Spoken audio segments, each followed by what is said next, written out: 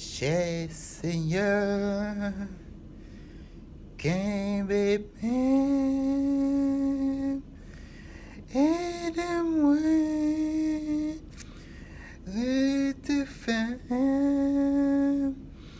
moins bouquet, fatigué, tellement,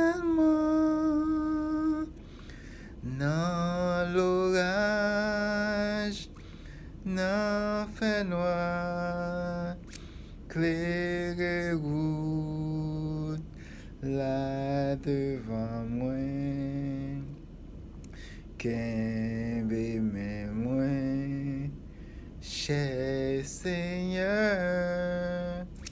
fais-moi rêver. Les soleils, la coucher, et nuit là approcher, et toute la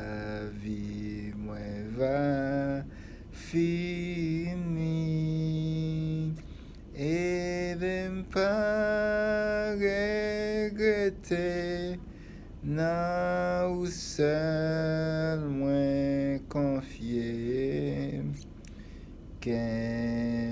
men mwen Cher Seigneur Fais-moi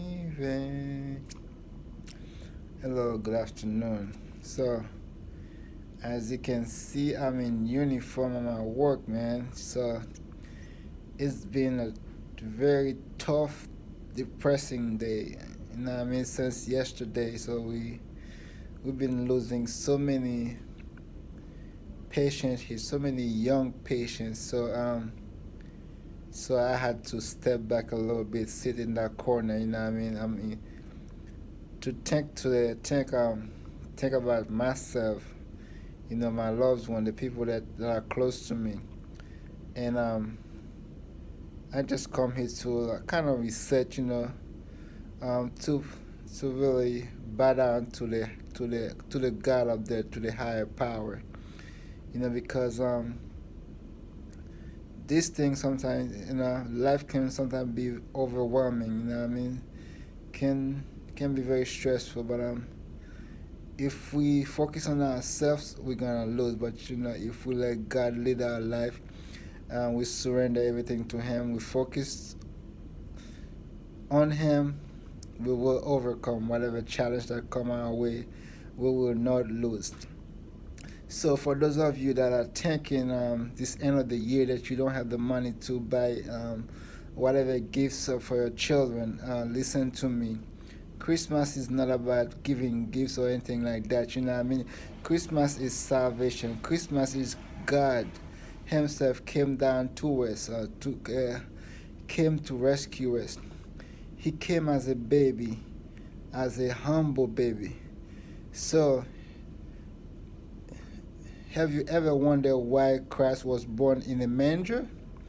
He was born in a manger just for people like you and me, for the for the hopeless, for the poor, for the sick, for the one that have no friends, for the one that have no family, for the outcast, so that we could have also have access to the kingdom.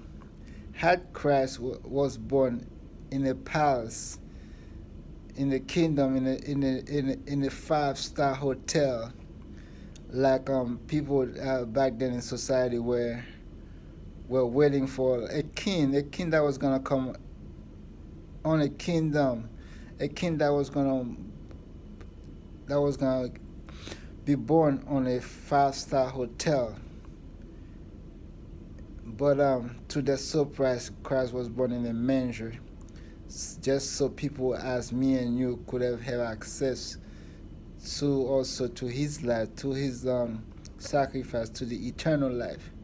You know, as knowing what I know about society, um, if Christ was born in a hotel, in a five star hotel, in a manger on a kingdom, only the rich people was going to have access to him. So thanks to God the Father himself, Jesus Christ.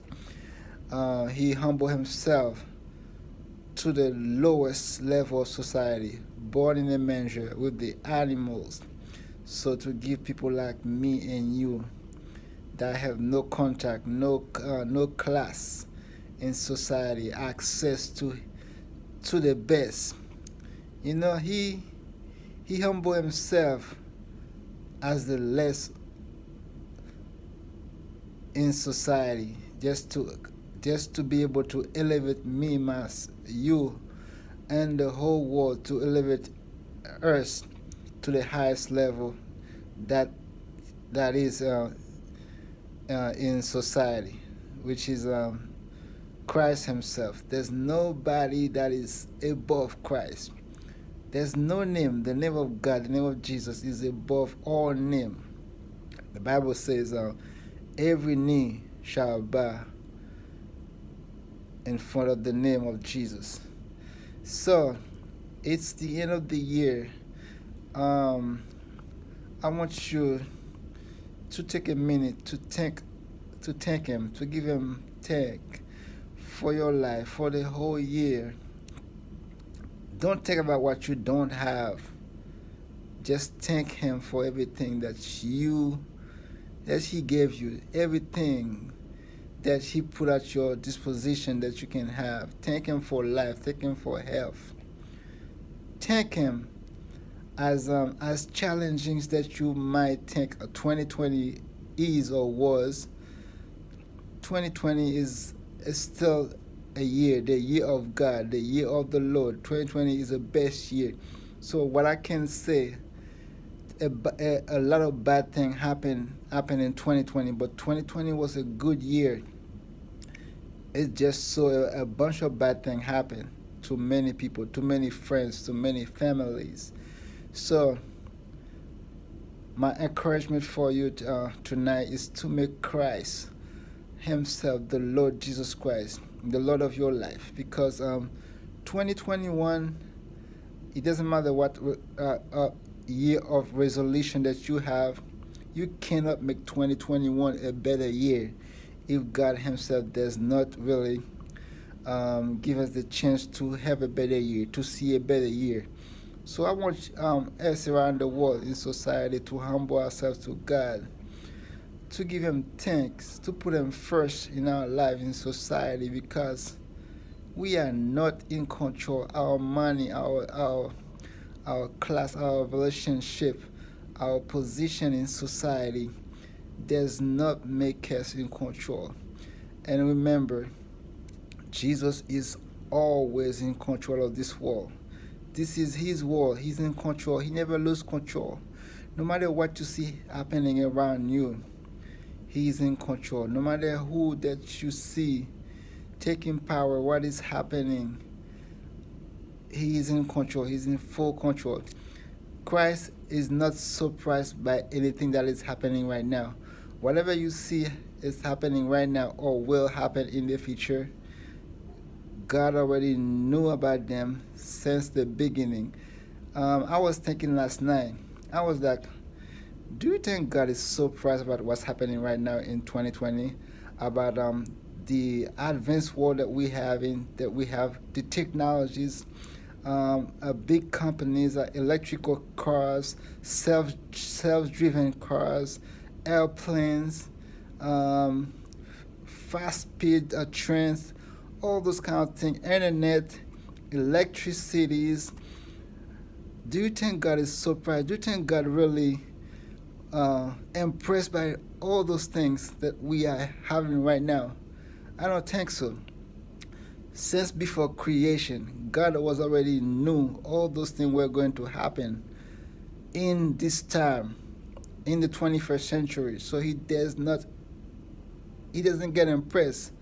So he's, he knows the future already. He's in control of today, right now. He's, he's in control of the future. The future is in his hand.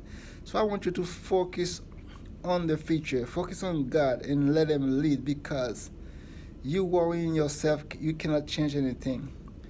And whatever that God has in plan for in, in his in plan for you, Trust Him because He will not disappoint you.